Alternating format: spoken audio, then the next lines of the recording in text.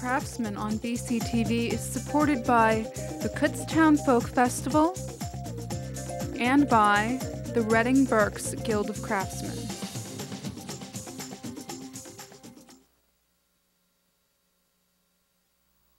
BCTV receives state arts funding support through a grant from the Pennsylvania Council on the Arts, a state agency. Funded by the Commonwealth of Pennsylvania and the National Endowment for the Arts, a federal agency. Good afternoon or good evening. Thank you and welcome to tonight's edition of Your Berks Craftsman. I am here with members of our Reading Berks Guild and we are telling you some exciting news that we are doing this year for the first time, right? We have started to do pop-up shows out at the Renninger's Farmers Market and we call them First Saturdays. And so some of our craftsmen are here today to talk about how that's been going and inviting you to all come out there and see us out there, right? Yep. We have this afternoon, oh, there's our First Saturdays little uh, pop-up postcard there. And um, it's been new for us and um, we're trying to get hip with the program, what's happening out there in 2020 to a lot of crafts people. We see a lot of this happening, and that's why we did it too. So we have today with us Louise Mehaffey. She is um, makes these beautiful, beautiful glass beads. We have Cleon Garl, and he is our vice president at the Reading Berks Guild of Craftsmen, and um, he is a wood turner and makes wonderful wonderful things. And down on the end, we have Carol Haile, our education chairperson, and she is a calligrapher and author. okay, so um, let's talk about how we started these pop-ups, right? You know, we just decided, what are we going to do? We only have our one show right now out at the Kutztown uh, University, and I think people miss us, right, throughout the year. And although we do many craftsmen do many different shows, you know, um, we thought, let's get hip to the program and do these pop-ups. And um, the Renningers out at the Renningers Farmers Market has that, that beautiful white room. And um, we had had an auction out there several years ago um, when our uh, good friend W. Eugene Burkhardt had passed, and we had the artwork, and it was um, a great accommodation for us to be out there. And um, so that's where we chose to do, and Renninger's welcomed us, welcomed us with open arms. So, um, yeah. It's a bright and cheerful room, and it adds a lot to the antique section of Renninger's Farmers Market. Mm -hmm. And uh, the show that I did on February the 1st was surprisingly well attended, mm -hmm. I thought. We did it around the theme of um, something for your sweetheart. Right, right. In anticipation of, um, of Valentine's Day. And uh, I had so much fun as couples would walk did. in the door. I did. As couples would walk in the door, I'd say to the gentleman, I said, oh, Valentine's Day is coming up. We have, we have jewelers here and all that. And, and the women would have big smiles on their face and the men were like, why did you have to talk to me? but um, it's a beautiful room, and um, more vendors, I think, have to see it to understand how it works mm -hmm. because it's so well lit, it's so accommodating. Um, there's food just down the hall. Yeah. It's there's a bathroom just down yep. the hall. There's everything you could possibly want, and the table fee is very very reasonable for yeah. the day. Well, and it's very casual. I mean, unlike, I mean, and not, it's a pop-up and that's what, you know, that's what was happening, you know, like in these malls and little stores and, and, and every place else, you know, I mean, so that's where we got the idea. It's a pop-up. It's not, we're not putting a whole lot into it. I mean, as far as decorative and big booths and everything like that it doesn't have the room to accommodate anything like that either, but you know, it does um, give us an opportunity to get out there in the public eye so that people don't forget about us because we're very vibrant. you know, that's what I'm thinking. So yes, it keeps our name out there. Mm -hmm. We have good signage. Mm -hmm. um, uh, I was I was thrilled with um, the way it went. And I'm looking forward to the next one, which will be March 7th. 7th. We're thinking spring, okay, because the little greens are popping up here and there. And God willing, no more snow. we didn't have much, so don't send it to us now, right? You know. And, um, and then we'll be back there again on April 4th. And that is the uh, weekend before Easter. It's the day before Palm Sunday. And on that same day, Easter on the Farm is out at the Kutztown University uh, at the um, Heritage Center, which is a great big event. And Reading Berks always supports, and we're always out there at the Her- at the Heritage Center on that day as well. So Kutztown will be popping that day, you know, because they have the big Easter egg hunt out there. The whole farm is set up, and in the log cabin, you know, again, um, craftsmen from Reading Berks will be there. And they will be at the um, pop up show at uh, Renninger's on the first Saturday. So, yeah, so we're all over the place actually. And also, the part I like about it is you can set up Friday if you want, or you come early Saturday and set it up. Uh, the doors are open Friday, and you don't need a table. Right, Like the, right. uh, some of our new members of the guild, if they don't have the tables right now, there's tables there for you, chairs there for you. It's Yeah. it's really nice. It really is. Yeah, it was a great. It's a great way for our newest craftsmen and Right. makers and artists to start there too. And, you know, and we would be glad to help them. I mean, you oh, know, Oh, yeah. no problem there. Oh yeah, no, absolutely. yeah. And Louise, that you just did the first one, y- Yes. your first pop up. So you know, and you felt the same way because it was easy, Well, easy to much get in. easier to do than a regular show. Yeah, Where you need backdrops and fancy Yeah, setups and yeah, all this. Yeah. you can just set up some Yeah. stuff on a table and Yeah. go with it. it was a nice casual day. So. Yes, it was. Yeah. Okay. Well, tell us, Louise. Let's start with you. What beautiful things you do here? I've got a frog in my throat. Oh. Um, I make When did you start that? I didn't know we were into that, but you know. I work with glass. I make glass beads, and I did bring a tray of just beads here. And when I do a show, I have jewelry, but I always just take loose beads too because I have a lot of customers that come to me to buy um, beads, and they make their own. Jewelry. And they make their own Yes. jewelry.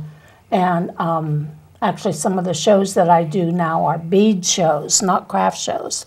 Oh, okay. They're Just all large bead shows where people come and buy the beads and make make their own jewelry. okay. So when you're saying glass beads, it's much like it's glass blowing, right?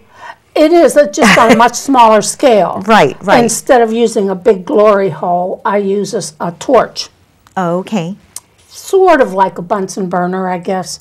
Okay. So think back So to your gives you biology days, you know, an and think of what a more- So I right. sit at a table and, and manipulate the glass. I buy the glass in sticks, uh, about pencil size, and wrap it around a metal rod, and Mm-hmm. then do whatever I'm going to do with it. So you, do you? Can you tell what's going to come out of it? I mean, I, I know what I'm going for. okay. it doesn't okay. always cooperate. Oh, okay. Yeah. Okay.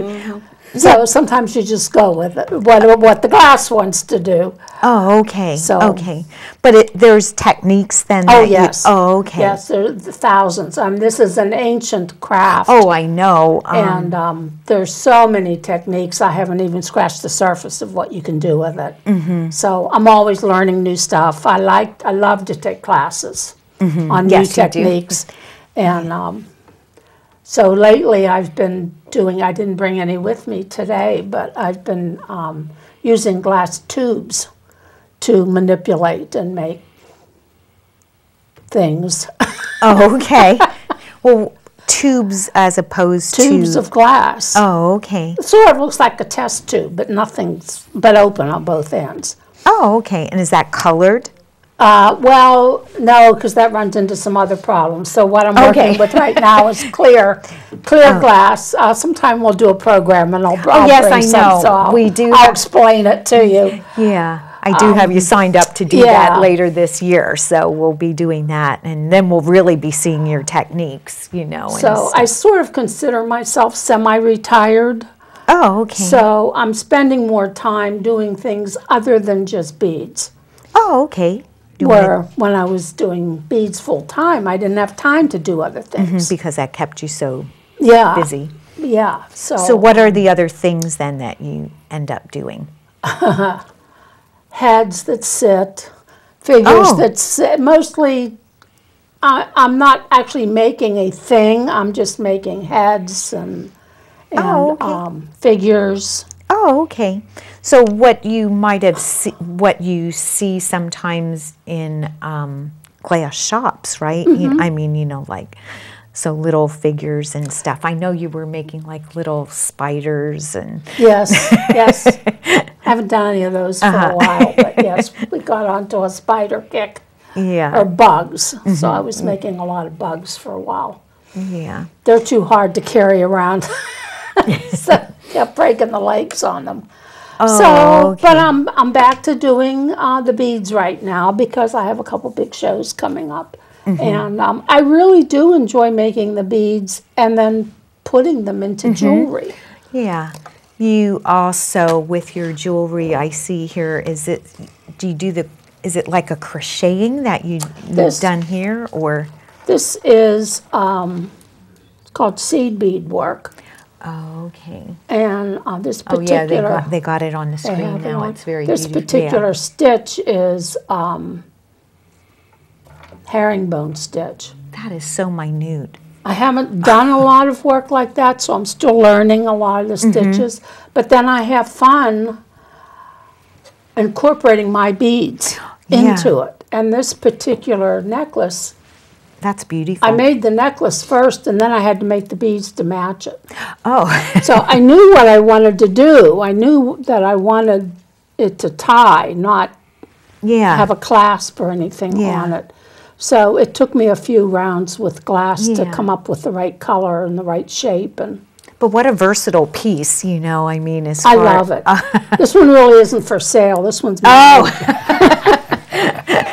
So this, I suppose if someone wanted one, I could make another one. So I've, Oh, been, okay. I've been doing more work with the seed beads Mm-hmm. um, since I don't do so many shows anymore. I have more time Mm-hmm. because it's very, very time consuming. I was going to say, it seems very time consuming. It's so minute, you know. But what a beautiful product, you know. Yeah, That you, I love working with them. Yeah, It's just, it's a whole new thing. yeah, And then I have the advantage that I can do what I want with the seed beads, and then I can make whatever beads I want to go with it. yeah, I don't have to go searching for something. I can decide what I want to do with it. yeah. Okay. Well, thank you for sharing that, Louise, and it looks wonderful. Um, let's move on to Mr. Cleon. There, he is outnumbered here today, as you can see. right. But um, I, he told me that he likes it like that. So.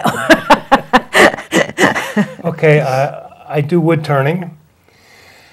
I brought my pens along. When I started turning 12 years ago, I, uh, I, I was a carpenter most, most of my life, and then I hurt my back. So then I said, what else can I do? So I started turning wood. And I started turning pens first. So after I started turning the pens, then I turned all different kind of things. And if you come to one of our shows, you can see from kaleidoscopes to pizza cutters, the back scratchers, shoehorns, whatever I can turn on my lathe and make. But since then, I've just brought my pens. I didn't realize I had 25 different kinds of pens now I make. so this is the 25 all different ones and two pencils. One's a golf pencil and one's a mechanical pencil. So it's, and they're all different kinds of woods. It's all a natural wood, which I love. Uh, black and white ebony, olive wood. Oh, there's so I, I have here's a pen that's a teacher's pen. One end's red, one end's black for the teachers. Ah, Of course, you have to get into the styluses. They have styluses on the ends, a couple of them down here for when you're playing around with your phone or whatever. I love them because I have big fingers and trying to push them stupid little letters. anyway, I have a couple. Uh, there's an actual 50 caliber shell right there, the one down the bottom, and here's a 30 aught six. And I turn both of them into pens instead of bullets. And also this one right here is a bolt action. You slide it down and lock it in just like a, a rifle. the, the, the wives see those, they go, that's great for my husband for Christmas or for whenever. So I, I sell a lot of them around Christmas time too. Then I, a couple years ago, I started getting into segmented. What I, what you start to do is you take 16 pieces of wood and you glue it together. And then after I glue it together, it looks like this. Then after I glue it together, then I cut it a quarter inch and I re-glue it on a little different angle all the way around. And then you re-glue that. Then you can finally start turning. and then that's how that turns out. And uh, this one here is the segmented. That is so beautiful. I mean, It's all It and it's all natural wood. yeah. Now, is there a finish on? I mean, when you say natural wood, then do you put a coating on? Yes, there? I, there's a, I put a finish on all Uh, my on, all on my a finish on yes. all. Yeah. So then I saw about gluing 40, wood at a 45 degree angle, which I start here.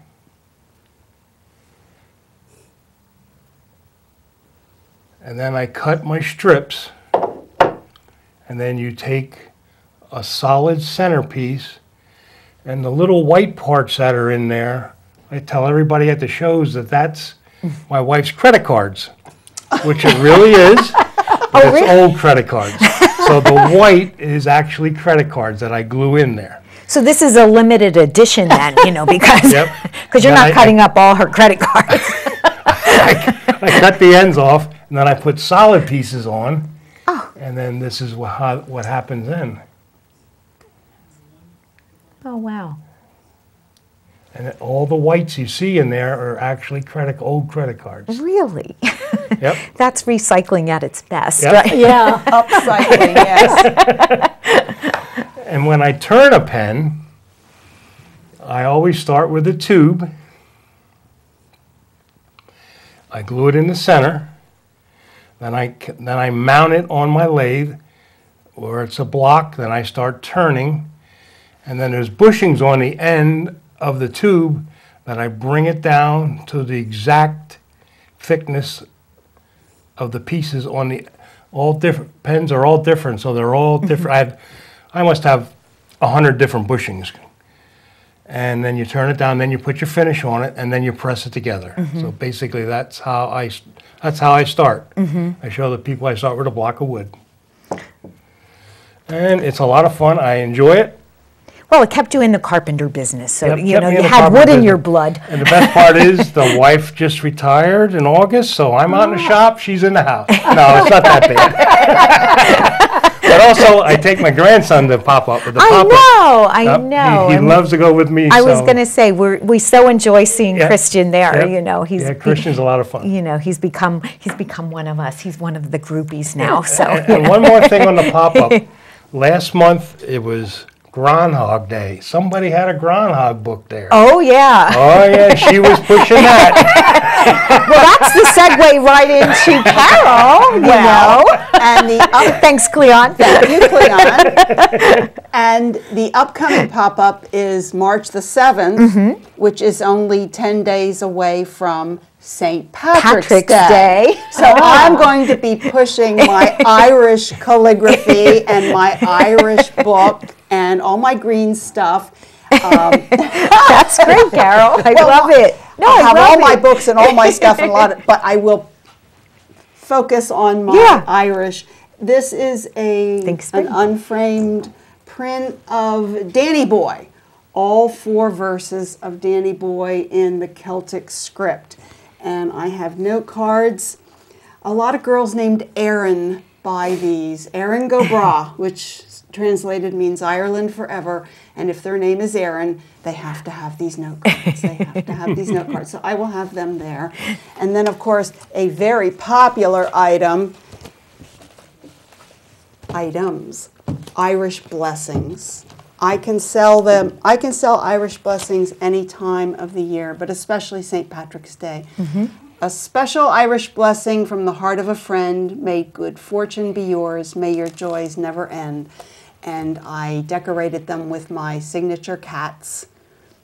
My cats are always posing for me. Make us famous, mom. Make us famous. and so they, they, they're, they, they just they hold their pose as long as I need them to, and so forth. But um, I'm working on a new book. It's about it's about dogs now, and I hope to have it out in in the fall. I'm uh, presently illustrating it. The story's written. It's a typical Carol Haile story. It's it pushes it pushes the envelope. It's it's it's it.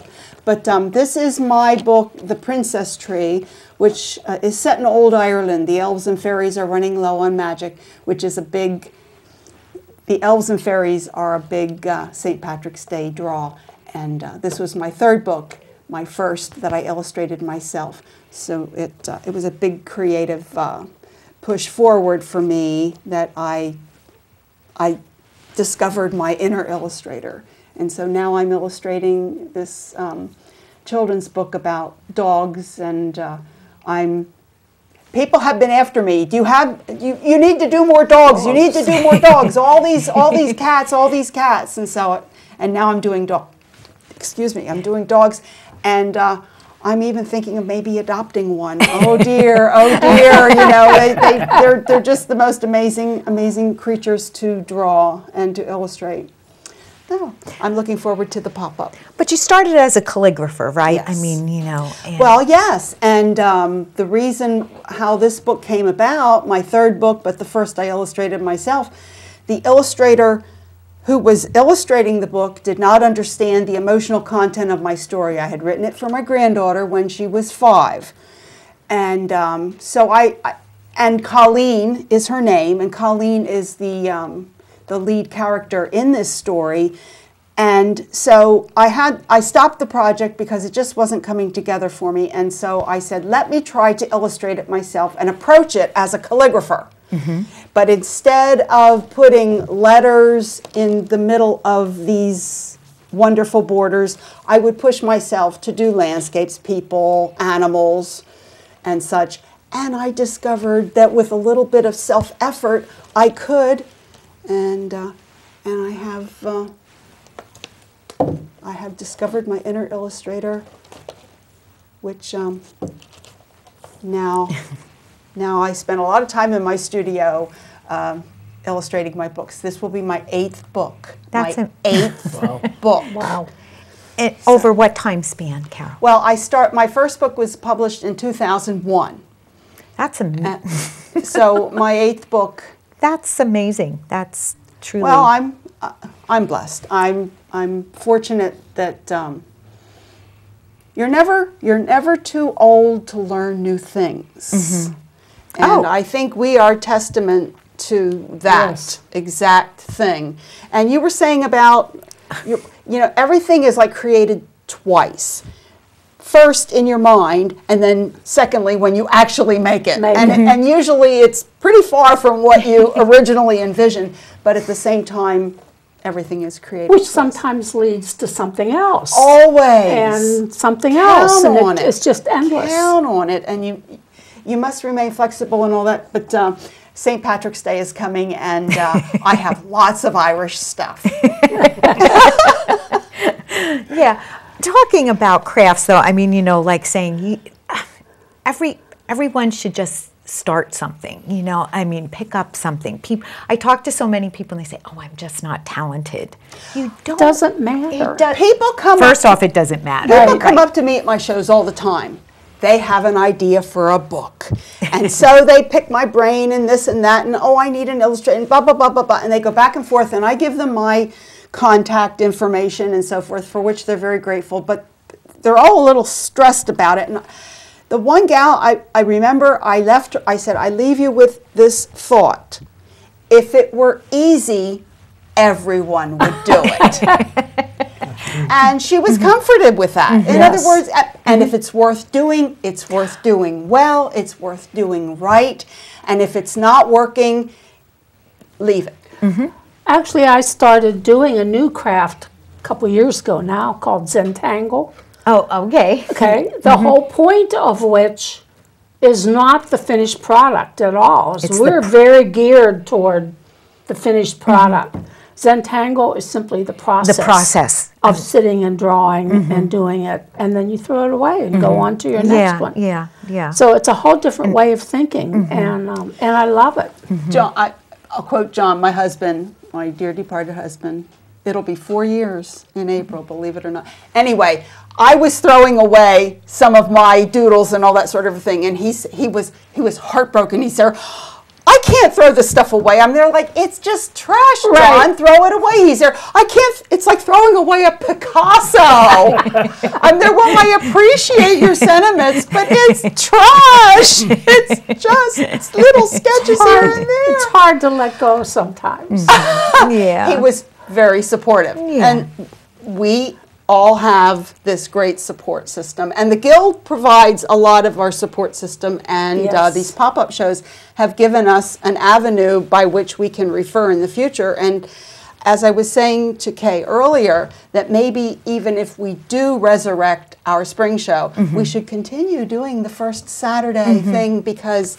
Um, people are going to they're going to show up at Renninger's and they're going to say where are Where the are they?" people it's the first Saturday Yeah. and we won't be there yeah. which would be tragic Yeah, and and we're trying to encourage so that we get new new craftsmen, new makers, okay, you know, to to join us because the Reading Berks Guild is so there's so much talent there and everyone is so willing to share it, you know, Oh, and yes. um, and that will be uh, proven next month when um, on your Berks Craftsman we will have our student awards program, you know, um, which Carol will be hosting, you know, and that's being set up. Um, starting tomorrow, you know. In a and, few um, hours, in yes. a few hours, yes, at the Goggle Works. And we'll talk a little bit later about that, but um, such a wonderful event and such wonderful art that comes out of Berks County. You know, I'm sure it comes out of every county, but we're partial to what comes out of Berks County, of course.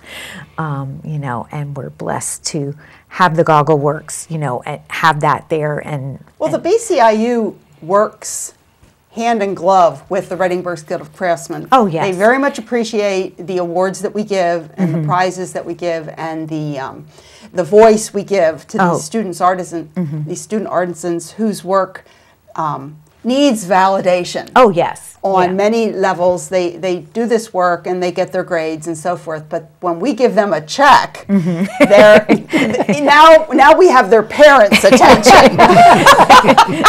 yes, you know, and and yes, there there can be a future in this, right? You know, I mean, Absolutely. you know, And we always invite them to do our to join us in our student gallery and several of them do and Oh. several of them do very very well Yeah. and it's always a win-win situation Yeah. for for us. yeah, yeah.